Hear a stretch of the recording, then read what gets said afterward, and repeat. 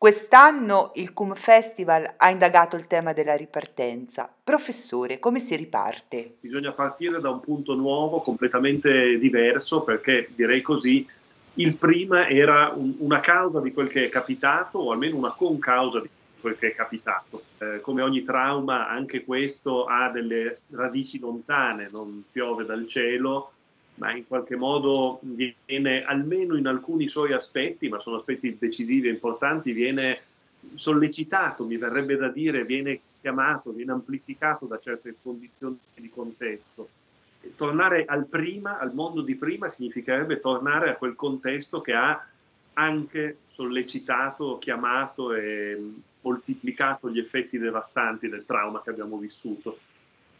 Quanto incide la sostenibilità sulla ripartenza? Questo è uno degli elementi che incidono in effetti ed è uno degli elementi di cui parlavo prima quando dicevo se tornassimo a prima torneremmo a un contesto che è stato un amplificatore, diciamo così, della portata traumatica dell'evento pandemico.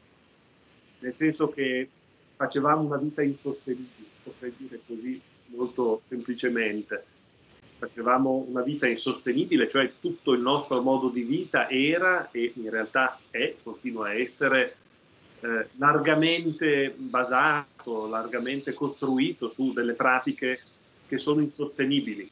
Che la pandemia sia stata così devastante ha a che fare con questo insostenibile. Le nostre strutture sociali, economiche e anche psicologiche, antropologiche direi nel senso più complessivo, sono estremamente fragili, sono sotto, così ridotte all'essenziale, così ridotti ai minimi termini perché la prestazione sia massimale a fronte di un investimento minimale. Dunque, professore, che significato diamo alla sostenibilità? La sostenibilità ha tante sfaccettature, infatti si parla di sostenibilità ambientale, ma anche sociale e così via. Io direi che il tratto comune eh, è che si parla di sostenibilità laddove c'è un contesto di sfruttamento. E questo sfruttamento può essere sociale, può essere ambientale, può essere di vari tipi, ma ha a che fare ogni volta con una domanda eccessiva a fronte di una, di una risorsa che viene mostrata come inadeguata da quella domanda eccessiva e bisogna rinunciare a qualcosa, bisogna dare qualcosa in cambio a chi ha rinunciato, bisogna che chi estrae valore rinunci un po' a questa estrazione e dunque abbia in cambio qualcosa, qualche vantaggio a fronte di questa sua rinuncia.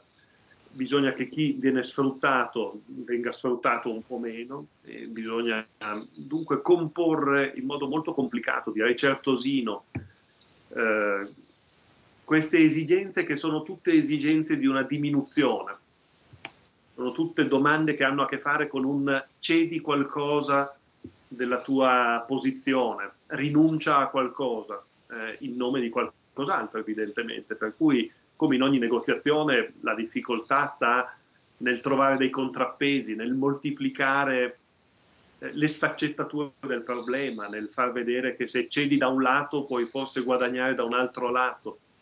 E questa è la difficoltà e anche il genio dei negoziatori, delle negoziazioni istituzioni e direi in generale della, dell'invenzione giuridica. Cioè io credo che la sostenibilità sia in ultima analisi un grande problema la cui risposta è di natura giuridica, cioè invenzione di regole, di meccanismi, eh, di meccanismi molto realistici, molto prosaici, che sanno che se chiedi a qualcuno di inquinare di meno, come, se, come noi stiamo facendo mondo occidentale globalizzato verso la Cina, per esempio, dobbiamo sapere che lì ci sarà una domanda di questo tipo, ma noi abbiamo appena iniziato a inquinare e voi inquinate da 200 anni, dunque come la mettiamo?